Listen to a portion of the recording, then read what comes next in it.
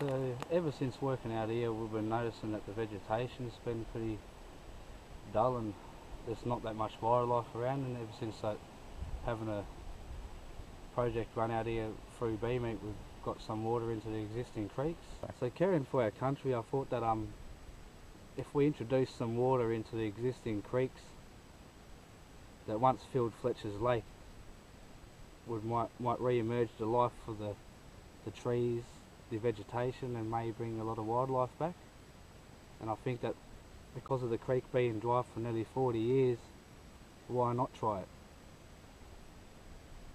So we've been putting out a few monitoring points where there's where we actually thought there would be a lot of salt impact areas. So we've did further monitoring on those spots and actually proven that we can get water back so there won't be enough salt salt and salinity issues. Ever since of um, doing so of out here monitoring and caring for the country we've just took notice that a lot of the wildlife's come back. We've seen all the vegetation come green again and yeah we've actually just made the country come back to life. So now when I walk along the creek now I run into emu nests, I can see a lot of tracks that's around. I actually see a lot of bird life happen.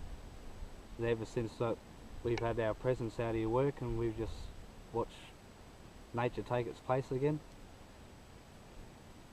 We've actually got the opportunity of watching them chicks grow up now and walk across the country and just by having that water come back it's just that we get to see these things again they're here now.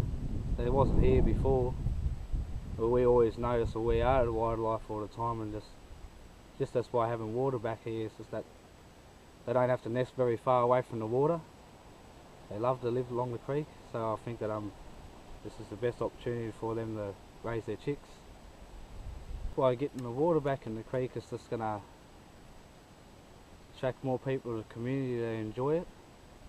So what I mean by that is that we can have our families out here again, our friends, especially the elders that's actually seen the water back in their days, they can actually come back and enjoy it again.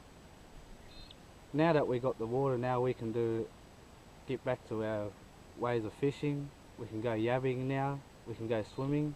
We could probably camp. We could do lots, lots more great things. It's been great seeing a lot of people come out here, especially the people of the community. Now that they got something to hand back to their families and younger generation to share, I think that they can nurture it now and have a belonging to the place. Now we can really enjoy the country.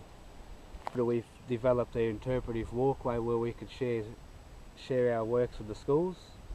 Can actually show them the cultural side about it and the environmental side about it we see this big capacity build that these kids will be seeing the how we got the water here and the troubles that we went through is that they they're not going to have those troubles by the time they grow up. I think that they're going to take it on as a opportunity to come out and care for country too.